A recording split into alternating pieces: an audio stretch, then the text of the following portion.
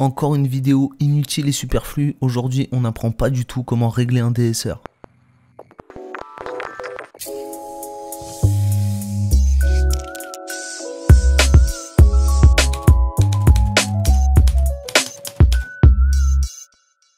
Donc le troisième effet sur la ligne d'effet, c'est un DSR. Comme euh, j'y connais pas grand chose et que je règle ça comme je peux, je vais vous mettre en description deux DSR que moi j'utilise.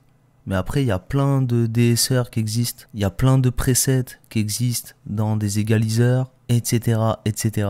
Parce que c'est juste du travail sur les fréquences en fait qui permet d'alléger les sons en se, the, etc. Donc voilà, le troisième effet sur la ligne d'effet, c'est un DSR, mais j'ai pas grand chose de plus à vous dire là-dessus, donc je vous balance deux DSR que moi j'utilise en lien dans la description, et je vous dis à demain pour une autre vidéo.